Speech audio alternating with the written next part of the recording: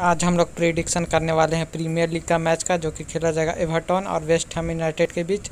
17 अक्टूबर छः तीस पी में तो आए करते हैं प्रिडिक्शन और आज के मैच का कैप्टन ऑप्शन है एम एंटोनियो ये बेहतरीन फॉर्म है। इन्होंने इस सीज़न में पाँच गोल किया है।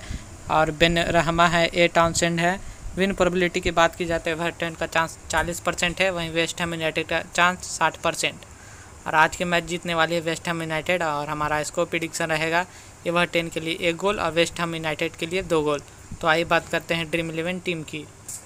और ये रहा आज का ड्रीम इलेवन टीम। हमारे कैप्टन है एम एंटोनियो और वाइस कैप्टन है एस बेन रहमा।